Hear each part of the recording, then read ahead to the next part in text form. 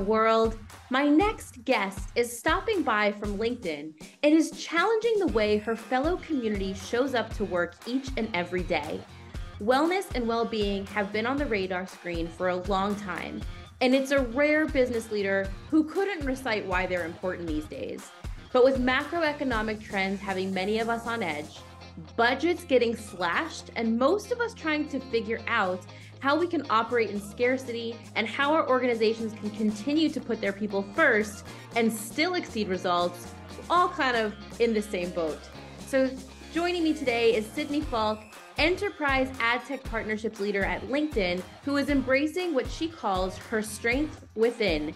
And she joins me to get radically transparent about how LinkedIn is buckling down and embracing startup mode while ensuring their employees' well being is their uppermost priority.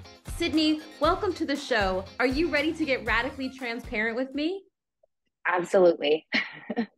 We're Great really here.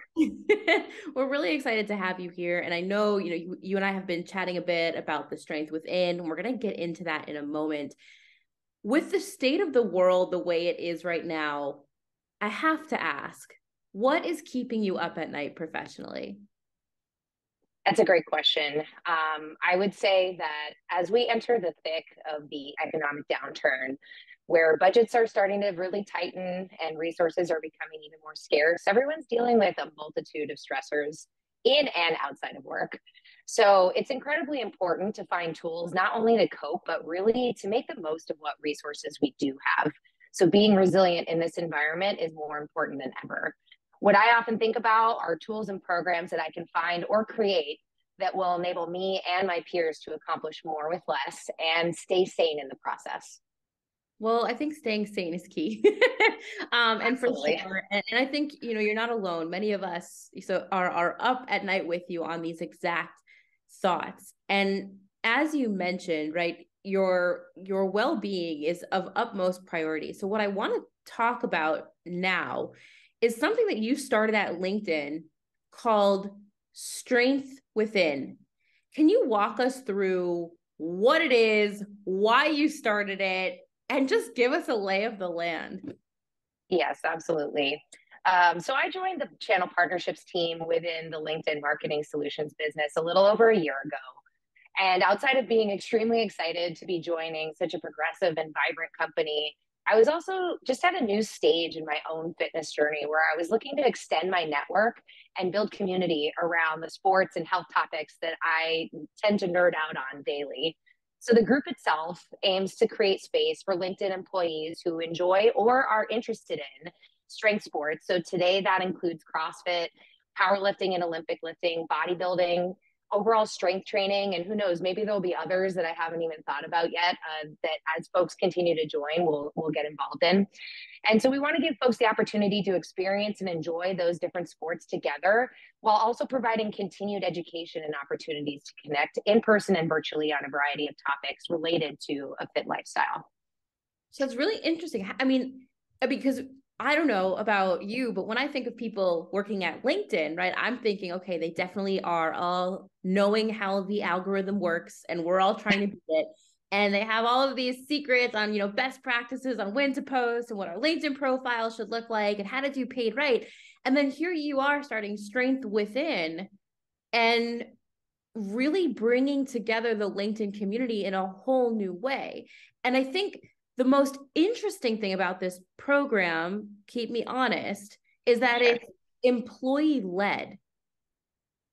So that means it's not it was not like LinkedIn woke up one morning was like wellness, right? And and like let's do this. This this really came from you. Yes. Um, and and as you mentioned, uh, yeah, LinkedIn didn't wake up one day and, and think wellness. This is a great thing. It's been an established part of our sort of overall operating model um, wellness is like a huge focus for the company overall. Um, and when I started, uh, I really just was trying to find an outlet to bring my whole self to work in this capacity. And as expansive as the wellness program is, I saw a gap where there was no no focus in this specific niche area. But you know, I figured why not try to just start something from scratch. Um, because I firmly believe that the way we show up to the fitness part of our lives, which is a huge part of my life personally, has a lasting and positive impact on the way that we work. Um, as I built my life around CrossFit and weightlifting, I'm not only training to be stronger, but also I'm gathering up all these different tools. Uh, you know, within my mind to fortify myself for the challenges that I inevitably face every day. And there's tons of research out there that shows that exercise supports cognitive function and all these different things. So, you know, by getting involved in these sports, building skills and resilience, harnessing the power of consistency, and I'm constantly challenged to think and act quickly with precision. Particularly in CrossFit, for example, you often have to come up with a strategy as to how you're going to make your way through a workout, whether it's breaking up the reps or thinking about pacing. All of these different things combined, you know, really give me an enhanced skill set that I can bring with me into the workplace to be more flexible and patient in how I set expectations for myself and look to accomplish goals. So, as the the name suggests, it's not just about the power and, and strength to conquer any weight or workout, but the strength within.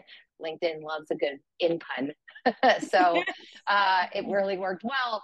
Um, so, you know, using that strength to conquer any goal that we look to attain at the gym or in the office or in our daily lives and so far, the alignment and the timing of bringing this all together has really been uncanny. And it's really kind of getting a lot of momentum in a short period of time.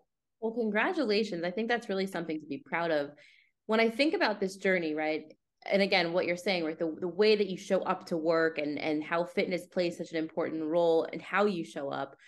Can you walk through what have been some of the biggest hurdles to get through leading something like this? Because it, keep be honest, right? It's not like you're in HR, you're not head of the wellness program. This, as you mentioned, it's employee led. So, what are some of the obstacles?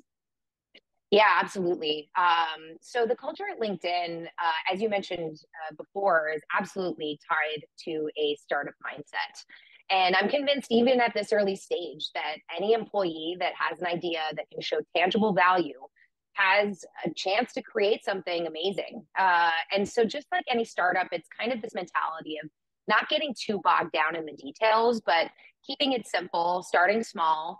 So, for example, building a SharePoint, you know, that shows our mission and vision and kind of gives a little bit more information about what it is that we're trying to build.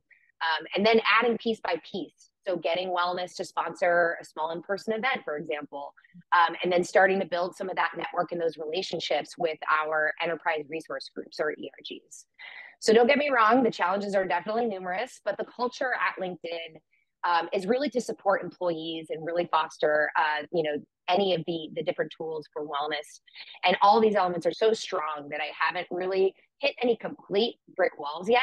I would say that the top challenges at this point um, are really, you know, first off, trying to figure out how to build and scale a group like this. Um, you know, we're very similar to the ERGs in many ways, but also very different. Uh, so figuring out the exact structure as to how to get people involved and then like have different individuals take on various leadership roles, that's still a work in progress for sure. And then secondly, I would say, you know, tying back to what I was talking about earlier, resources and budgets getting a little slim these days. So operating in scarcity is definitely a major exercise in creativity and staying flexible. So at this point, Strength Within doesn't have its own budget, but rather I'm working with folks across our wellness team and different ERGs to fund and support all of our programs.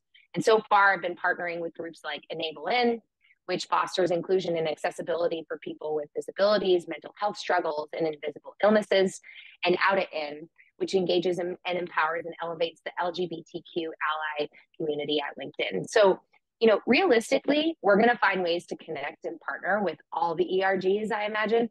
The tenets of Strength Within are incredibly intersectional and can be applied to literally everyone. So it's really just a matter of finding all the right opportunities to showcase the power of strength sports and overall health topics through each ERG's lens. I love it. Listen, I'm going to shift for a moment because a few things are going through my head, right? So LinkedIn is notorious for being a great place to work.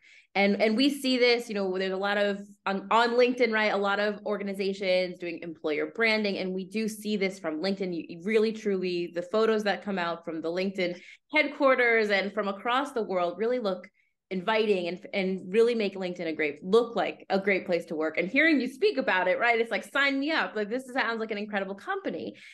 my question to you is you have this organization that's heavily investing in their employees, supporting employee led programs. And I think most of us do recognize that when you're treated well by your employer, this really does impact in a positive way the way you do your job, as you say, like the way you show up to work. But what I've noticed we're seeing lately is this trend between what employees in the workforce want.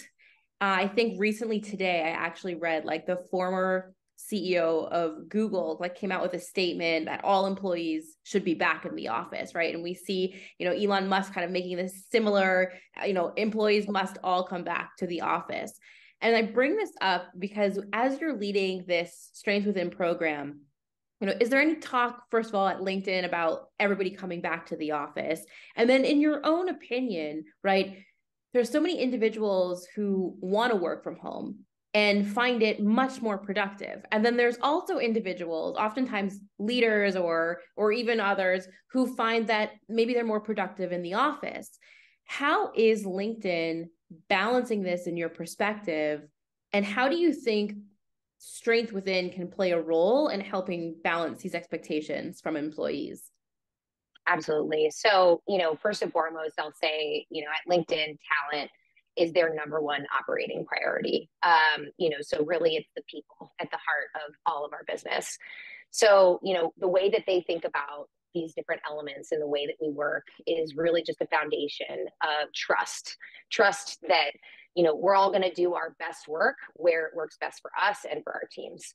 So we've learned that every individual and every team works differently and at this point we embrace flexibility with both hybrid and remote work and the expectation at this point is more of us are going to be remote than pre COVID and removing the expectation of being in the office 50% of the time. It's just like not something that we're necessarily uh, subscribing to at this point in time. So, alongside that foundation of trust, though, we are focused immensely on creating amazing office experiences for everyone uh, when they do come in to work and when we do have that time to come together. So, initiatives like Strength Within are aimed at continuing to foster those deeper relationships in person and virtually, really. Um, and I think that that's what helps to drive a really balanced approach to hybrid work environment is embracing sort of this growth mindset to learn together and adjust as we go. So then, right, so Strength Within, you're based out of New York, right? Yes. And so Strength Within, so is it something that only takes place when you're in the office? Like, are you leading like CrossFit in the office? Or are you leading a virtual session? Or how, can you just explain? I mean, how does this work from a remote or hybrid or in office experience? Absolutely. So, you know, we're kind of taking we're taking a dual approach just in the same way where um, I myself, yes, I'm a ba- I'm based in New York, so I'm setting up in-person events. Um, we had one in October where we got a group of folks to go and take sort of an introductory, I'll call it introductory class to, to CrossFit in a way, where we did one portion where we are doing strength training and then we did some team building, um, HIIT style workouts or high intensity interval training. But then outside of that, I think we're also going to be focused on a lot of virtual programming because we understand that people are kind of you know taking a lot of different approaches individually as to how they want to be able to show up to work in that way and still give people the opportunity to engage um, and so you know we're going to be looking at bringing on speakers and things of that nature um, creating town halls you know getting people together so that they can talk about their relative experiences with different sports what are the different things that they're interested in nutrition and all those types of things. So that's kind of the approach that we're taking. I love it so listen, I'm really excited to see Strength Within. Maybe it will get some features uh, on LinkedIn and in the feed. Um, I'm really proud of the work that you're doing, and I I know that a lot of organizations are looking to bring you know wellness front and center and looking for the best way to do that. And maybe they'll find some strength within hearing about you speak about your program at LinkedIn. I never let anybody off the show without answering the most famous question and my favorite. And, and actually, fun fact, it actually started at LinkedIn. Um, it was a question that used to be asked all the time in the early days of LinkedIn. So, what's one thing you can tell us about yourself that we actually cannot learn about you from your LinkedIn profile? And we know that you're into CrossFit and, and fitness and wellness, so we we can't say that either. yes, absolutely. And this is definitely a tried and true, uh, you know, question that we use often uh, internally at LinkedIn as well.